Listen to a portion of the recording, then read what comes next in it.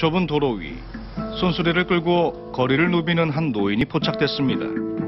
얼마 전부터 하루도 거르지 않고 동네 어귀에 나타난다는 할아버지.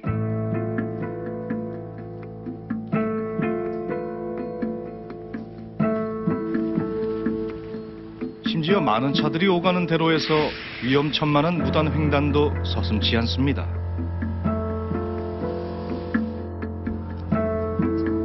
어딘지 위태롭게만 보이는 할아버지. 그가 잡동사니를 실은 손수레를 끌고 도착한 곳은 인근 편의점. 혹시 버려진 고물을 주우려는 것일까?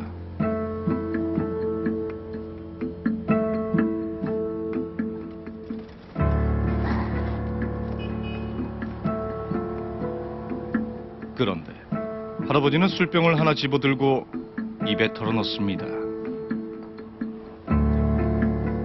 한 방울이 아쉬운지 연달아 술병을 기울이는 할아버지.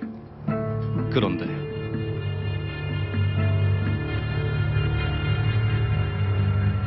손수레 안에서 뭔가가 꿈틀대며 움직입니다. 잠시 후 이불 밖으로 나오는 것 바로 누군가의 손입니다. 이내 손수레에서 한 할머니가 모습을 드러냅니다.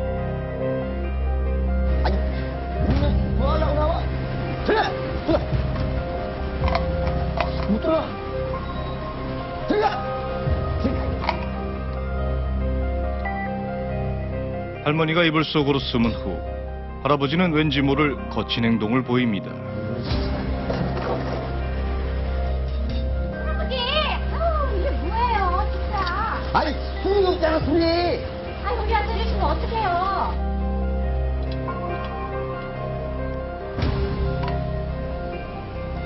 어떡해. 참견하지 말아요.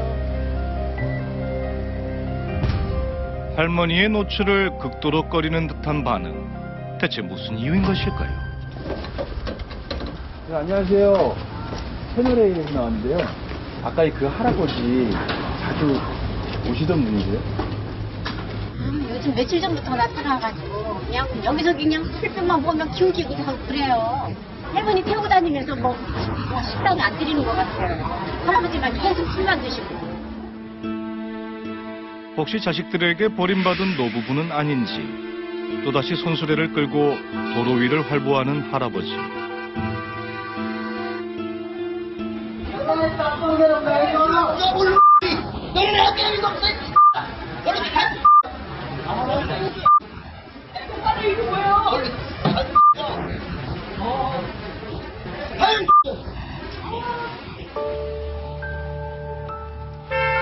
얼마 전부터 수상한 할아버지가 동네에 나타났다는 제보에 현장을 찾아 지켜본 제작진. 두 사람에겐 어떤 사연이 있는지 조금 더 관찰해 보기로 했습니다.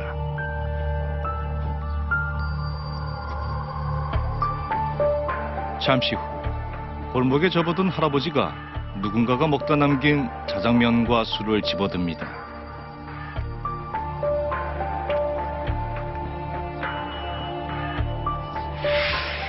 진수성찬이라도 되는 듯 음식을 허겁지겁 먹기 시작하는 할아버지. 온종일 참았던 허기를 채우는 듯합니다.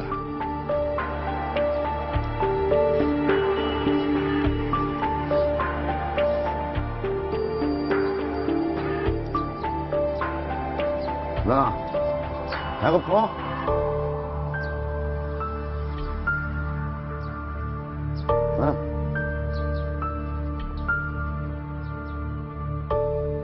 버려진 음식으로 끼니를 때우는 두 노인. 할머니 역시 얼마나 오랫동안 굶주려 있던 것일까요?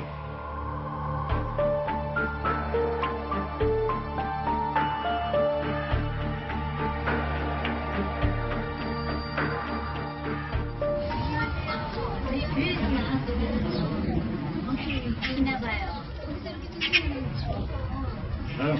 저희 교회 오시면 따뜻한 거 드리는데.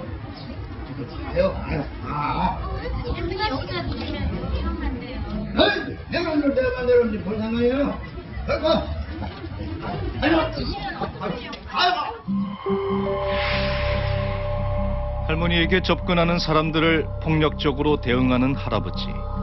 이 노부부에게 무슨 비밀이 숨어 있는 것일까요?